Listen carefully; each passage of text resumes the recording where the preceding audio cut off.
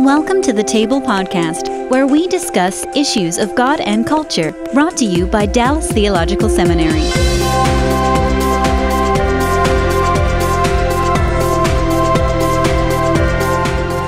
Now, a lot of people have a judgment about blended families, mm-hmm. and it's that somehow they're all born out of sin. Mm-hmm. Some of them are, mm-hmm. okay, clearly. Some Yeah. of them are. Right. Not this one. And it's still complicated. It's still a challenge. You still need direction specific to your family situation. To just walk in and say, okay, uh, ma'am, you're now the woman of this house, be a mom. Oh my goodness. How does she be a mom to girls that don't accept her presence? She can't just put on the mom hat and be the mom. How can she be a mom to to uh, to an older brother who's in his twenties in law school, has his own life, and he hasn't really had a mom for eight years? She she could be the mom to you. By the way, she's got three kids of her own. She's still trying to be the mom too. What does that right. look like? Yeah, exactly. Okay, so there's so many layers to Mm-hmm, this.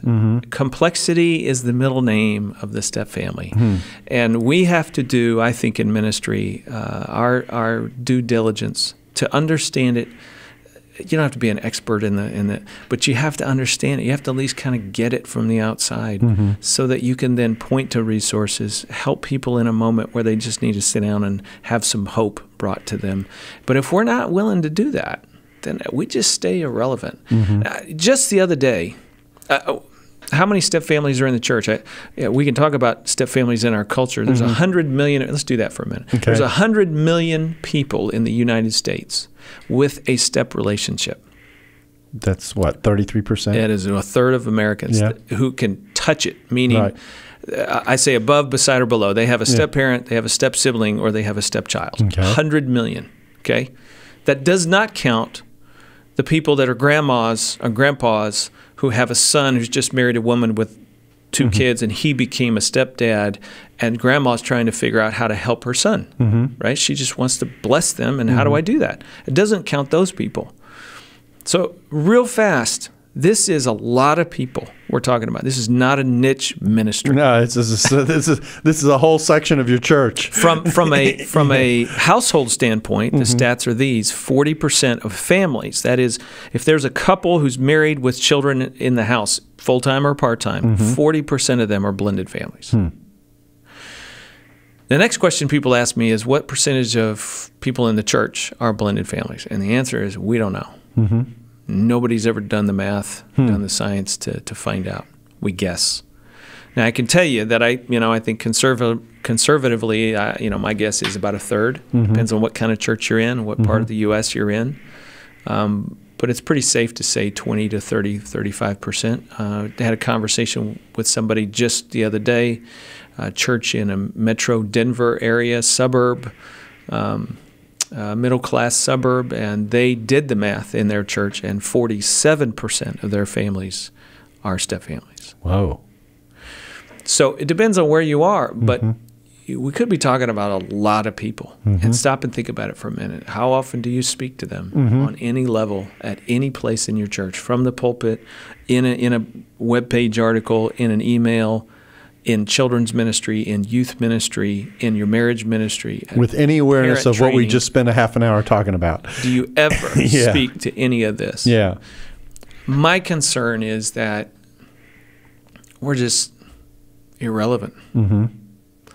And, and it pains me because I think this is, you know, one of, there's a lot of fields that are white for harvest in our Mm-hmm. culture. There really are. I think this is one of them, and I think it's a big one. Mm-hmm. And it's a growing field that's white for harvest. And if we just can step in with a word that offers hope and guidance and points them in the right direction, uh, you know, people are thirsty Yeah, that's a great observation. for help, mm-hmm. and it, it, it can either be us or it can be the media. Mm-hmm. and I know what they're going to give them. Mm-hmm. Right? Uh, pop answers that aren't going to help at all. So um, let, us turn to. We've we've talked about the sociology. We've talked about some of the dynamics. We've talked a little bit about the church. I think the page that I want to turn now, because we got about twenty minutes left, is is to kind of say, all right. So what what do you say to families on the one hand, and I think we've covered some of that. But what do you say to churches on the other? What what's the message for the church? Yeah, in terms of practically In what terms they can of practically do. what they can do, yeah. Well, uh, let me let me go down first of all the important road, and that is deal with your theological questions around this, uh, especially re- re- re- around divorce and remarriage. Okay, and um, you know I've studied it, and and I know you've read, and there are lots of scholars, and they don't agree.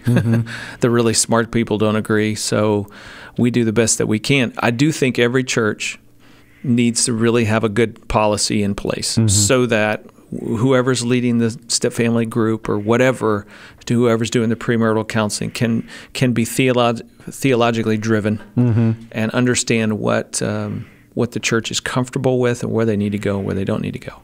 So I think that's step one. Step two then is to say, okay, where can we begin? And I think there's a lot of really good ways to do this. Mm-hmm. Th- There's so many different entry points. You can just kind of pick the one that makes the most sense to you and start with that. So, for example, let's say you have an established parent education training or marriage education uh, class, workshop. Maybe it's an annual conference that you host, whatever that looks like for you. Start with that. So, uh, do do what I call sidebars, right? You know, talk about marriage, and then when you're talking about managing conflict in marriage, you might tell a story about a couple who's managing the conflict around his ex spouse and how they're going to deal with their co parenting questions as the children move between homes because that issue with his ex is a source of contention in the couple's marriage. Right? And so now you're talking, wow, that's where we live. His ex wife calls, and our life goes into chaos. Yeah, and that's a whole. I mean, that's a whole dimension we didn't even talk about because it wasn't really applying to the scenario that we that Mm-hmm. that we were in in my family. But when you're dealing with a remarriage that does involve divorce and has ex spouses and children who have been who are mixed in two directions, That's right. um, uh, if there's a remarriage on the other end, then then we've just multi- we've added a whole nother layer to Mm-hmm. everything that we were just talking about. Yeah. Yeah, the, the degree of difficulty, as we like to say at Family Life, has just gone up considerably every Yeah. time. And so, yes, there's more and more layers depending upon death or divorce or what the story of the family is. Uh, so again, if you do that little sidebar in the middle of a marriage education ministry, you've just taken two minutes, you've told one story, you haven't changed your curriculum, mm-hmm. but you connected to all the couples in that room, mm-hmm. right? You, you did a couple of things. Number mm-hmm. one, you told them, "We know you're there, we love you, and it's okay. We're glad you're here." That is huge, Uh, uh, Darrell. I got to tell you, couples and step families have so much shame. I, I think it's one of the most shame-based groups in our church which is why a number of things happen. If you offer a small group, you'll think you'll be flooded with, well, half our church is in a blend. They'll all show up. No, because they're going to wait and see if you're going How to you're tell them they're going it. to hell, Yeah. right? Or, or if you know how you're going to handle this really matters to them. They've been coming to your church, but they've never told you they were married before, and they're kind of afraid to. Yeah. And so there's there's this marginalization issue. Sometimes mm-hmm. it comes from within them. Sometimes it's imposed by some of the things that we've said or done in the past, and inadvertently, you know, we say things that make people feel less than, and and they just feel unworthy. So that whole issue, I think, is important. I, one of the things I say to churches is you got to build bridges of grace to them, Mm-hmm. so they know they can trust to come to you. And here's another layer that I hear. The moment you also share that illustration in the midst of a group that has many couples in it, you're actually sending community vibes at the same mm-hmm. time. You're not just speaking to that couple, mm-hmm. you're speaking to everyone in that room that part of our community is made up of people like this that that are a part of our, our community and our family that we have to be aware of. And you're you're doing some in the midst of having the conversation, you're also doing some educating of Yep. everybody else, That's right. Which That's is right. important. That's right. And one of the ways you know you get there is if you have a story, you share that. I just mm-hmm. want to commend you for mm-hmm. sharing and talking about your family story. It's mm-hmm. just as simple as that. All of a sudden, we had a big dialogue and conversation. That same thing can happen in small groups, couple small groups, marriage education groups, or conferences with 2,000 people. It's it's another way to open that door, build that bridge of grace, and then then they feel like they can trust you with their story. Um, and, so premarital counseling is a way. Maybe you're going to do the same premarital counseling you do with a first married couple, but you're going to add a couple of things. You're going to mm-hmm. spend a little time, or you're going to ask them to read a book. Hey, let's talk about chapter two next week. Read that thing. Let's discuss it. I don't really know what I'm doing, but together we're going to figure this out. That's how you get through it. Mm-hmm. Exposing them to materials and resources is, is really helpful. Here's a whole nother layer. I, yeah, I, the more you think about it, the more I think about it. I mean, it's just, uh, the, there's the there's the way in which the original couple related to one another as male and female. Mm-hmm. You got another person in the mix. Yeah same gender, different person. Yep. yeah. So the rules that you had in your first marriage may not end up being the rules that work in your second marriage. Yeah. Even though you're the same person, the, the, the way you interact with the ingredients in the crock pot, if Yeah. I can say it that way, That's right. may not may not produce the same chemical reaction. One of the equations I tell couples is yellow plus green equals blue, hmm. right? But yellow plus red is orange, right? You still have one color that's consistent, mm-hmm. but you you get a whole new usness when you mm-hmm. add a different color. You, you got to really think about that. And and again, people who here's a unique thing. People who have had a bad marriage that ended in divorce mm-hmm. want a very different kind of spouse and marriage.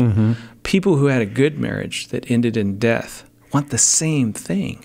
And what they don't realize is that Can't they, have either. you can't have either. Yeah. You know, it's always going to be different. Yeah. And and so you go in with this kind of idealistic notion that wow, you know, we got along so well, we talked, we communicated, and you and I, of course, that's the fog of falling in love. Right, right. And then you get to real life, and it's harder, and you're thinking, okay, is there something wrong? And then you add the complexities of you don't get along with my kids, and it's, it's just easy for resentment Yeah. to begin to resound on many many levels hmm.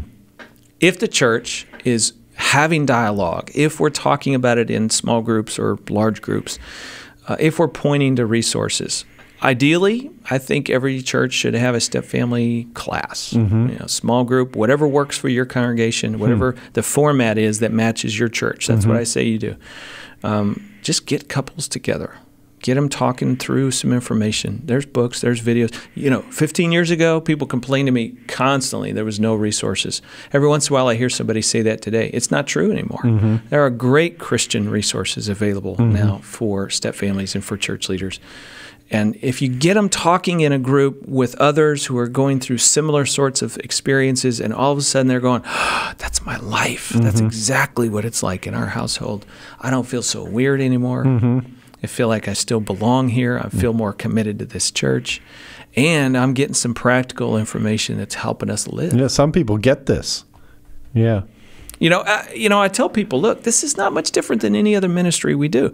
We, we need to give them the answers that fit their life and their circumstances. Whether it's recovery ministry, I mean, we do this all the time. Get people together in community and fellowship mm-hmm. around good content, and let the church be the church. Mm-hmm. We just have to be the ones to instigate it, make it happen. So there is the premarital avenue for uh, uh, impacting somebody's life. There's the marriage ministry avenue that you can impact. There's the parent education avenue that you might fall into. There's the okay, we have a special class for step family couples, step couples, I like to call them. Uh, and, and, and it's just for them. And, and we have people in various points of ministry, and we're doing this over here and this over here. Here's another one uh, divorce recovery ministry mm-hmm. mm-hmm. is actually a good place to start planting seeds in people's minds about the complexities of remarriage and step family living. And, you, and it's as simple as let's say you do divorce care, you, know, you have 13 video sessions, and at the end of the last night, you take 10 minutes. You hand out an article I wrote called 10 Things to Know Before You Remarry, right? Mm-hmm. And it's free and people can download it off the web. And you hand it out and you go, hey, we know you guys are not dating. Some of them are. And we, we wish they weren't, but they already are. Yeah, that's right. And, and someday you might just find yourself in a new relationship. And we just want you to know there's some differences about that. So here's this article to read, and God bless. Right? And they're looking at you like, that is crazy. I'm never going to fall in love ever again. I'm not going to go through that pain or that heartbreak. And two years later, they're looking up your phone number because they can't remember what you said, but they know you said something about this being different, and they've begun to f- sense that. Mm-hmm. And now they're thinking about getting married, and they've got kids, and all this is coming back. And now they want to know what you have to offer, and you plug them into a class or you hand them an. The whole point is just reach people wherever you are. Know they are there also. Mm-hmm. Find a way to try to talk to them, even if it's just a little bit. there's a whole dimension of this that we haven't talked about yet that I think is interesting and has some potential too. You know, a lot of times when you preach on a Sunday and you're preaching a message, you talk about the family Mm-hmm. and family dynamics and that kind of thing. But but I, I, I'm going I'm going to propose something here that I think often goes on that we that walks into this area and that is but I think I think we tend to do it in a leave it to beaver mode. Yeah. Okay. And what I mean by that, and I'm sorry for the young people who didn't get that illustration, but the point is, you know, here, here, here's the Cleaver family, and you know, you got the, it's the one family with the two boys, and mm-hmm. and it's, and it's the, it's the ideal family picture. Mm-hmm. You know, and we preach out of that mode, or we talk about relationships in the context of the of the sing, single marriage, if I can say it that way. Um, and as you've already pointed out, maybe a third of my audience isn't even there. Right. They're somewhere else. They're in a different reality. And the more I consistently preach only out of that one lens, and I never go to the other place, mm-hmm. the more dislocated Yep. a significant portion of my audience feels. Now let's talk about attention Okay. that, that exists in this. Okay? Okay. Because we're the people who preach the ideal, Right. and we should. Yeah. Okay, I Right. am a Right. number one believer mm-hmm. that we got to teach God's blueprints for the family better, stronger, louder, f- harder than we ever have in the past mm-hmm. because we are moving further and further away from it. The pressures are all pulling you in different directions. all, eh, within the secular society and even yep. within our church family. So we have to do that, and we have to then live with that tension of saying, and and yet if this isn't you, you know, that's really the redemptive. I mean, isn't this what it's all about? Well, the, fa- the, the fact is, is that we preach in a fallen world. yeah, Uh, and the gospel operates in a fallen world. Mm-hmm. Grace manifests itself in a fallen world. nobody would be in the church if there wasn't sin. Exactly right. Everybody there is imperfect. That's right. So, so in the midst of doing that, it seems to me it's incumbent to to use the term you used earlier in a message, perhaps now and again, to have a sidebar Mm-hmm. That communicates. I know that this hasn't been the experience of everyone, and some of you find yourself in this place. Now, what's the best way to operate biblically if this is where you find yourself, Mm-hmm. and you're off and running? And in the process. We're back to the things we talked about earlier. Not only have I connected with a portion of the audience that up to this point I haven't been connecting to, perhaps making them feel a little more marginalized in the process. But I'm also educating my entire community about the kind of community they're living in. exactly. It, it, we're helping all of us to become more relevant to our friends and our neighbors and the people that are around us. And so it, it seems to me that this is an incumbent part of reflecting on pastoral ministry as we teach about family. And, and so I take it that kind of come full circle hmm. that part of the reason you have the job that you do is that the people at Family Life realize this. Yeah, You know, they, that's they basically right. dawned on them. Here's a whole portion of our community. We're attempting to minister about families and where they are and help them cope with where that where God has them. And there's a whole segment of the population that we've completely bypassed. And let me tell you, we live in this tension all the time. We we have to walk the line, I think, mm. at family life and within the church local ministry. This tension of talking about the ideal, talking about God's design and blueprints. We want to move people towards that as mm. eh, whenever we can. Mm-hmm. And at the same time talking about the realities of where we live and what life is like. And honestly, again, Old Testament families kind of help us do that. You know, it, did Jesus grow up with a stepdad? It, there's one to ponder. Yeah, okay. right, right. I mean, so this whole point of this is not new. Mm-hmm. We just have to bring the wisdom and the truth of Scripture into the realities of where people live, and and we walk that fine line, and we don't have to apologize for Mm-hmm. that. That's pretty fascinating. Um, so, so what advice would you give to pastors? I mean, we've we've sort of overviewed this, but if you were to give specific advice to pastors in particular as they think about this area, what kinds of things would you be saying? and- and- what are you going to be saying to them in the next few days? Students and pastors, uh, I'd say the same thing. Get educated about it. Uh, And let me back up. I don't live in a step family. Mm-hmm. Uh-huh. I don't remember. I don't. I don't think I mentioned that. Yeah. This is not my life. Yeah. I'm 29 years married to the same woman, my first wife. Mm-hmm. we always. I always introduce her as my first wife because everybody assumes I'm in a step. Uh-huh. and family. you didn't grow up in a step. I didn't family. grow up in one either. Okay. This is not my world. I have three siblings. They're all in first marriages. My parents are coming up on year 60. Uh, my in-laws have been married 55 years. You're you're You're in I'm the, the wrong fossilized guy. cleaver world. My goodness. I am. Uh, I tell people I'm the wrong guy, Yeah. which, which in some ways in God's economy, I guess maybe makes you the right guy. Right? Yeah, he uses yeah. you the wrong people, irony. so you know it's Yeah. Mm-hmm. all about him, and that's that's the truth. I really believe that. Um, and so, pastors sometimes get intimidated, Mm-hmm. and they think, "Man, this is not my life. I don't get this. They're using words and language and step parenting. What's what's different about that?" Okay, read one book. Mm-hmm. Read one book over the next six months get educated, learn something, have your eyes opened a little bit, and then whenever you have an opportunity, pass along something that you've learned. If it's in premarital counseling with somebody, if it's from the pulpit, it's in teaching, it's in a whatever those opportunities are, you're you know, God will open those doors and point people towards resources, get them connected with each other. Hmm. I, I, I will give you this one word of caution mm-hmm. because I think this is important. Because of this shame issue that a lot of blended families deal with, uh, I, I found I've been doing this. Wow, I've been working specifically with step families for over 20 years. Mm-hmm. They're the hardest people to get in the room. Hmm. If you offer a class or workshop or a conference, they don't show up in droves because they're not sure they want to go there and be that vulnerable and transparent with their story. It opens up all kinds of pain. It just does. Yeah. It does. It really does. And so, understandably so, mm-hmm. they're tough to get in the room. Mm-hmm. But once you get them there, they bond faster than anything you've ever seen. They hmm. finally found somebody who has a similar story to them and they can be honest about it and open about it. And together we're figuring this out with God's grace. Hmm. And we're feeling rooted in our church and supported by our church. And it is fun hmm. to watch.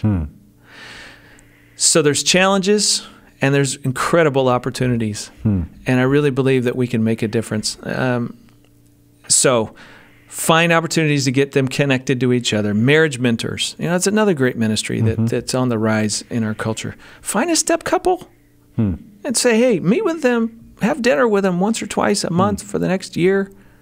Just get them together and talking and show them a few good resources that'll really help them. That's one of the things we do at Family Life Blended is try to support those resources um, and let them go. Uh, I, I got to share this one thing with you because I think I think this is what it's really all about. This is why we're doing what we're doing.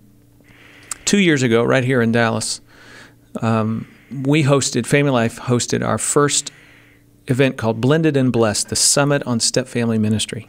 We do an annual event specifically around step family ministry. Um, the next event will be in Irvine, California, in uh, at Mariners Church this coming November. Two years ago, we uh, sponsored our first one here in Dallas. And at that event, I invited a friend of mine, Dr. Francesca Adler Baeder from Auburn University. She runs the National Step Family Resource Center that's based at Auburn. Hmm. She runs the national or the Alabama Healthy Marriage Initiative for the state of Alabama. She's hmm. a smart cookie, mm-hmm. okay? And she came and she shared something with us that I didn't even know until she said it. Hmm. She's followed kids who have grown up in healthy blended families. And what they found is that those young people have a more positive view of the institution of marriage as compared to other children of divorce, mm-hmm. have a more positive view. They make better choices about their mate. Mm-hmm. And when they get married, their marriages have a quality that reflects the high quality step couple marriage compared to their parental marriage that ended in divorce that led to the step family in the first place. Hmm.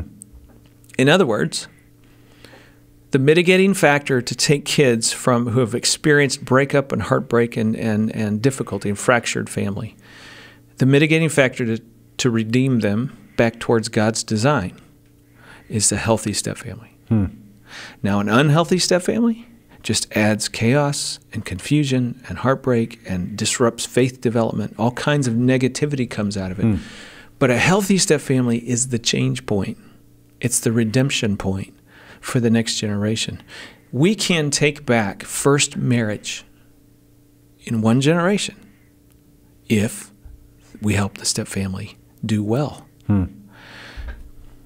That's good news. That's very good news. That is why we need to be doing this mm-hmm. and mindful and putting time and energy into it. Because we're not just kind of saying, wow, they messed up and we're just, oh, poor them. Well, let's try to help them out. No, no, no. we're offering God's grace. There's a multi generational impact. Is what you're. Absolutely. Yeah. and God's grace gets applied, and it changes the future. So at Family Life, they have you, uh, I, I guess, uh, talking about this, Mm-hmm. and this this is what you do. This is what I do full time. Um, w- I've written five books. We have a DVD series for churches. We have another small group study that's available. I was going to ask you about resources. Uh, but uh, Yeah. that's not all there is. One of the things we're doing through our summit on Step Family Ministry is we're pulling together all anybody around the country who is invested in this area of ministry. We're trying to encourage other ministries to get involved. Focus on the Family, for example, as a partner. Uh, we're helping other smaller ministries that have published study guides and materials to try to help find an audience so that churches can have resources. Hmm. Uh, that's one of the neat things about the summit is that we're all coming together under the same banner. Mm-hmm. You know, and, and, and I think there will be. Think about how many books you have on your shelf that are marriage, family, parenting related. Now, how many step family books do you have on your shelf? no, that's true. Okay. Well, soon we hope in the coming years there'll be that many available to you hmm. within the Christian community. Hmm. Well, Ron, I really do appreciate you taking the time to be with Mm. us today and kind of walk us through this territory and get us, get us, give us a feel of uh, uh, of what it's like. I think it's been fascinating to think through the really many layers of aspect, and then to, and then to, the, the the very differing dynamics that are in play depending on whether you're dealing with a with a, a new family that comes out of a death versus a divorce and that kind of thing. All very very helpful. We wish you all the best in your ministry there at Family Life, and of course uh, the entire ministry there has been a really terrific resource for the church. I I, I do want to close by asking you one question, and that is, what kinds of resources can people get their hands on through through Family Life? Well, we have a video called Ministering to Step Families. Mm-hmm. That's a great starting point for you and for others you want to share it with. Get them talking and thinking and understanding the rationale for this, the biblical understanding, theology, all those Could you do questions. a Sunday school class around this kind of material? A- absolutely, absolutely. So, well, the ministry to step families is for the leaders and Okay. leadership. Uh, then we have a book called The Smart Step Family that was my first book and uh, came out with a revised expanded edition just last year. Has a DVD video curriculum that goes with it. That's a great, great tool to take couples through to really help them understand what's going on in their life and how to build their life. Then other books in the series, The Smart Step Mom, Smart Step Dad, both of whom have discussion questions for stepdads or stepmoms to work through with other in small groups. Uh, dating and the single parent is a resource that's for dating couples hmm. and guides the pastor, gives you some ideas that help them do well through the dating process, involving the kids, making decisions, and how do you move forward? Red lights, green lights, yellow hmm. lights, hmm. and then once you're engaged, what do you do to try to help the family get ready for the wedding? You know, that's all dating and the single parent. And then the last book that's just coming out uh, next month, as a matter of fact, I got my first copy two days ago, uh, called The Smart Step Family Marriage. Uh, some of your audience will know David Olson. He's created Prepare Enrich, which is a profile that's used by premarital counselors and therapists all over the world. Uh, David and I did a research study of couples in step families, and we basically fleshed out what the high qualities are of couples that do really well and then what predicts poor relationships. And we wrote a book that's very practical in nature to try to help couples build that. Comes there's a free PDF study guide that goes along with it. You can get a 13 week Sunday school or small group curriculum out of that. So uh, there's some pretty high caliber kinds of resources I think that are available for people turnkey. Um, all our video our video resources are all on Right Now Media for mm-hmm. those churches mm-hmm. that subscribe to that. We have materials on YouVersion, the Bible app. Mm-hmm. There's a free six day reading plan on blended families that's hmm. available. Hmm. Uh, FamilyLife.com and my website SmartStepFamilies.com collectively have close to 400 articles hmm. for ministry leaders, couples, therapists, all free. Just got to go find it. So you got a whole other series you could do called the Stupid Step Family. what not to do. No, we want them to be smart. so that's great. Well, I really appreciate again you coming in and talking with us, and uh, we wish you the best in this ministry, and we just thank you for the for the help that you've given us uh, today. Thanks for having me. Yeah, and we thank you for being a part of the table, and we hope to see you back again soon. Thanks for listening to the Table Podcast. For more podcasts like this one, visit dts.edu slash the table. Join us next week for part two. Dallas Theological Seminary. Teach truth, love well.